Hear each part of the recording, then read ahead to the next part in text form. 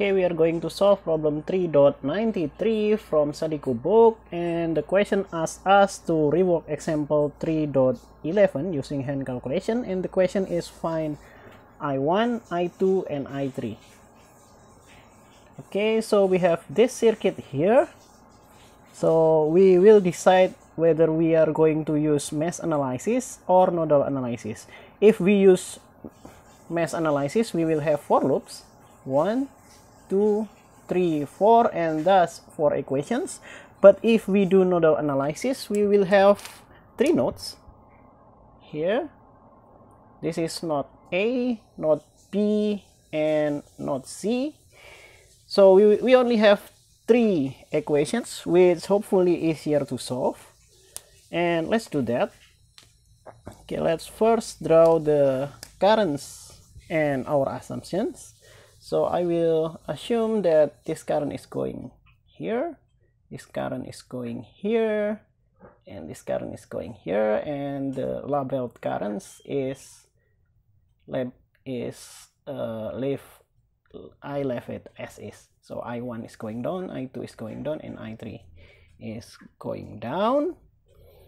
So now I will label this as I4, I5, and here I6 so our goal is find out I1 I2 and I3 okay now we take a look at node A using KCL so KCL stated that the current that goes in is equal to the current that goes out.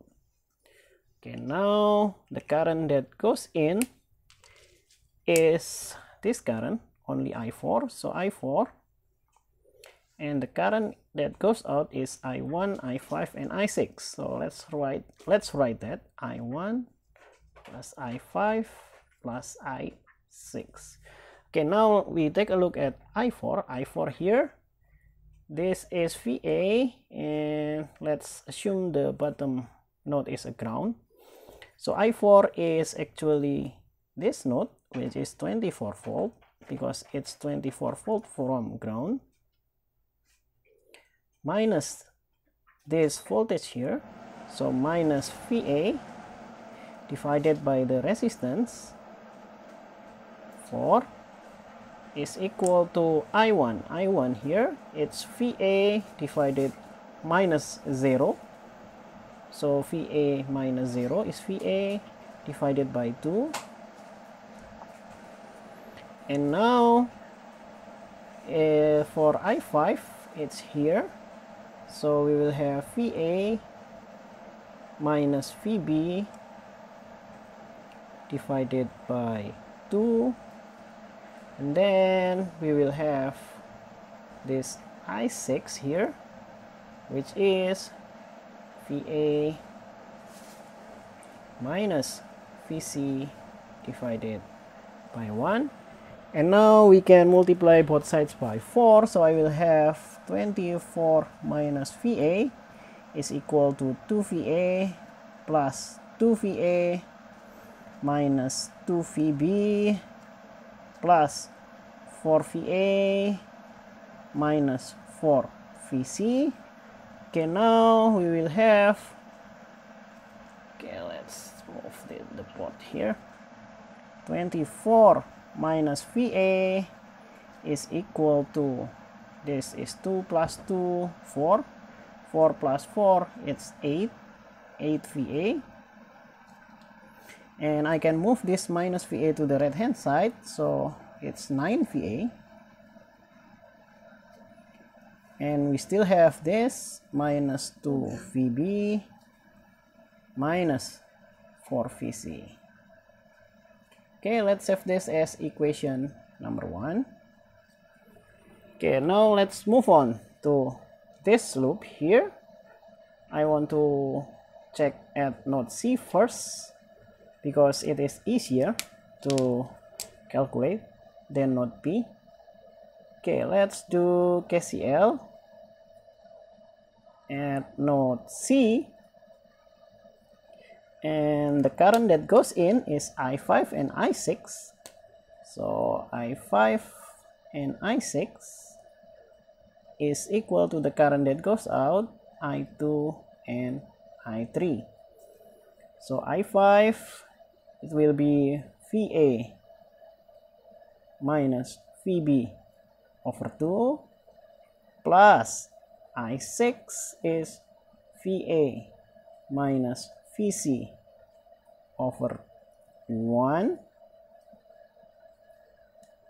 and I2 I2 is VC over 8 and I3 is VC over 4 okay now let's do simple math by multiplying all of this by 8 so I will have 4 VA minus 4 VB plus 8 VA minus 8 VC is equal to VC plus 2 VC. Okay, now let's do algebra here. 4 plus 8 is 12. 12 VA. And then minus V minus 4 VB. We don't have any other VB here. And for VC, we will have minus 8, minus 1, minus 2. So I will have minus 11 VC is equal to 0. Okay, let's have this as equation number 2. Okay, now we still need to take a look at node B. But to do that, I don't want to look at node B as its own, but I want to look at this voltage source. So 3v0 voltage source okay here if we take a look at this this will imply that vc minus vb is equal to v 3v0 3v0 okay and now if we take a look at v0 V0 is the voltage across this resistor. So it is the same as VC. So I can rewrite this VC minus VB is equal to 3 VC. And I can rewrite this as VB plus 2 VC is equal to 0 and let's save this as equation number 3 okay now we have three equations and three variables. Equation number 1 number 2 and number 3 okay i will erase the board and i will try to solve this three system of equations. Okay let's solve this system of equations so we will have three we had three equations and First, I want to take a look at equation number 1. So I will just copy equation number 1. 9VA minus 2VB minus 4VC is equal to 24. And I want to take a look at equation number 3 but multiplied by 2. So I will have this 2VB plus 4VC is equal to 0 okay now we can sum these two equations. We can add both equations. So i will have 9 va and this will cancel each other. So minus 2 vb plus 2 vb is 0 and this also cancel each other.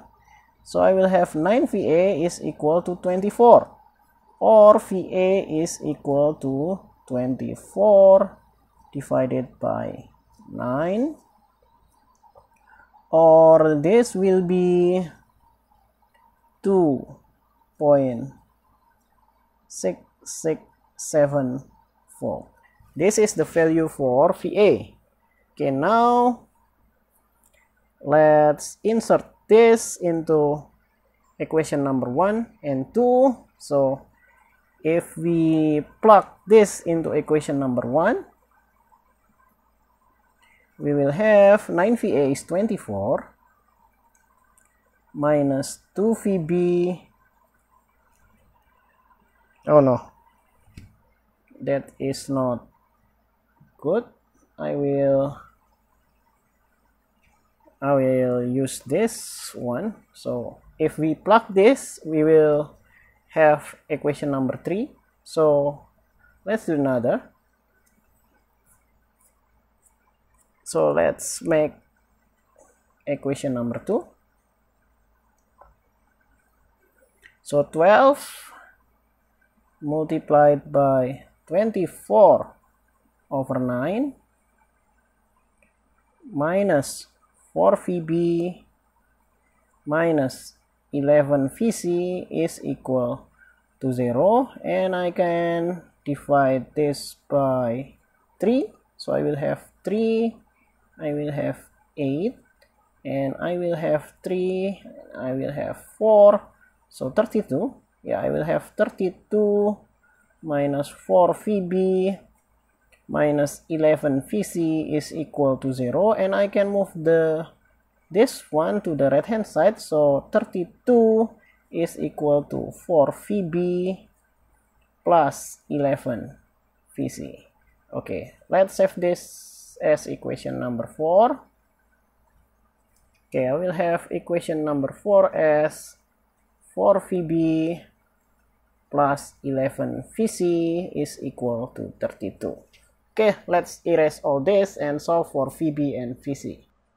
So now we only need to take a look at equation number 3 and 4 and before we will we have VA is equal to 24 over 9 volt so let's save that. Save that.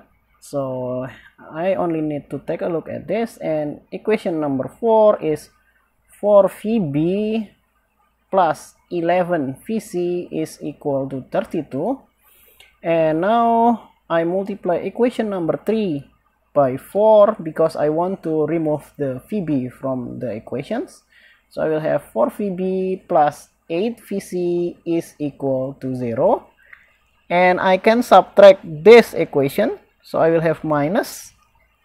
And here I will have 3 VC is equal to 32 or VC is equal to 32 over 3 okay now we will ha we have VA and VC 32 over 3 volt and from here we can calculate I1 I2 and I3 for I1 I will have VA divided by 2 which is 24 over 9 divided by 2 so here so 24 divided by 18 so what is this? This is 1.333 ampere.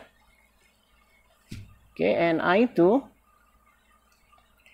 i2 is, is actually vc divided by 8 so i will have 32 over 3 divided by 8 so i will have this is 8 and this is 32 so 4 4 over 3 and this will be 1 over 333 ampere. And for I3 it is VC divided by 4 so I will have 32 divided by 3 times 4 and I will have 8 here. So 8 over 3 and that will be 2.667 ampere. And this is our final answer for i1 i2 and i3 hopefully i did not make any mistakes and thank you for watching